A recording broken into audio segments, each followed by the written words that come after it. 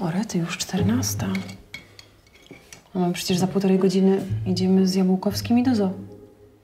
Ale ja bez obiadu nigdzie nie idę. To dzisiaj miał być kurczak z batatami.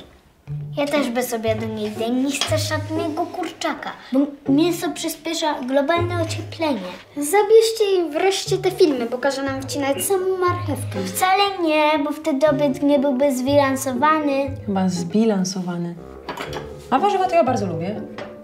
No właśnie, więc ja chcę warzywa, ale na połowę talerza. Reszta zboża i białka. Zacznijmy na białka. To ciekawe, jak zdążymy do zoo przy tak zwilasowanych wymaganiach. Zdążymy. A nawet będziemy wcześniej. Ciekawe, kto wygra zawody. W krzesełka? Nie, w obiadek.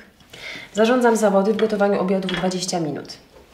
My z Natalią przygotujemy obiad bezmięsny, a wy tego swojego kurczaka.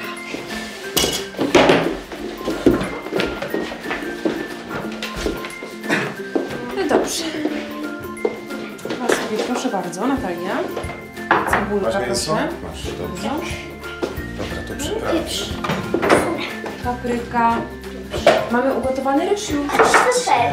Jeszcze ty nie ma wody. Przyprawy, sól, pieprz. Dobrze. Słodką paprykę i... Rozsłałem, świeży. Dobrze.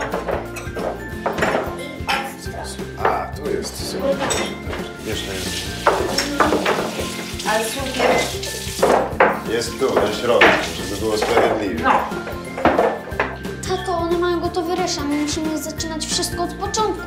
Słuchaj, z naszymi dziewczynami nie ma się co kłócić, bo i tak wygramy.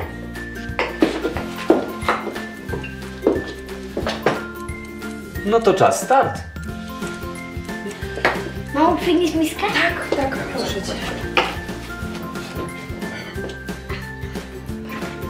Chyba musicie się pośpieszyć, bo was drużyna wegetariańska prześcignie.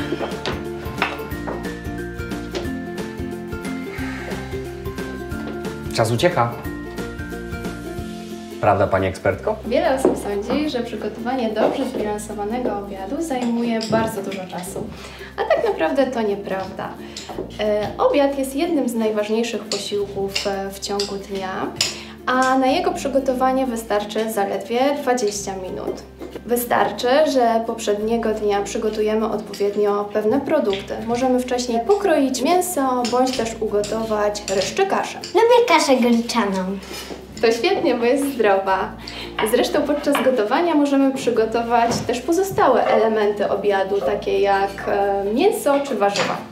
Pełnowartościowy obiad powinien e, w przynajmniej połowie e, składać się z warzyw, najlepiej surowych. Są one istotnym źródłem wielu witamin, składników mineralnych oraz błonnika pokarmowego regulującego prawidłową pracę przewodu pokarmowego.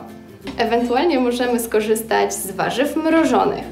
Warzywa stanowią e, aktualnie podstawę piramidy zdrowego żywienia. Mnie chyba inaczej uczyli. Tak, bo zalecenia żywieniowe zmieniają się w miarę postępu e, nauki. Aktualnie przynajmniej połowę talerza powinny stanowić warzywa lub owoce. Pozostałą część talerza stanowią inne e, produkty z piramidy zdrowego żywienia. Mamy zatem już połowę obiadu. Jedną czwartą powinny stanowić również węglowodany złożone, najlep- najlepiej w postaci pełnoziarnistych produktów zbożowych. Jakie z nich znamy? E, ryż brązowy i kaszę, na przykład gryczaną, jaglana, jęczmienna, na przykład pęczak. Makaron pełnoziarnisty. Dokładnie tak. E, Jedną czwartą talerza powinny stanowić również produkty dostarczające dobrej jakości białka, takie jak mięso, ryby czy jaja. A my skąd mamy białko? Z ciecierzycy, ponieważ rośliny strączkowe stanowią bardzo dobre źródło białka. Ale żeby obiad był idealny, potrzebujemy jeszcze dobrych źródeł tłuszczu, takich jak oleje roślinne, np. olej rzepakowy czy oliwa z oliwek. Ewentualnie możemy dodać orzechy, nasiona lub pestki.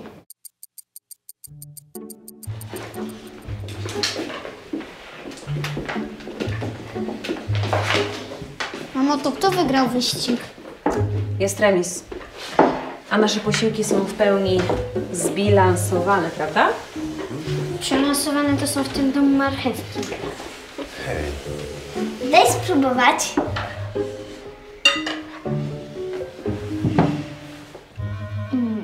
ค่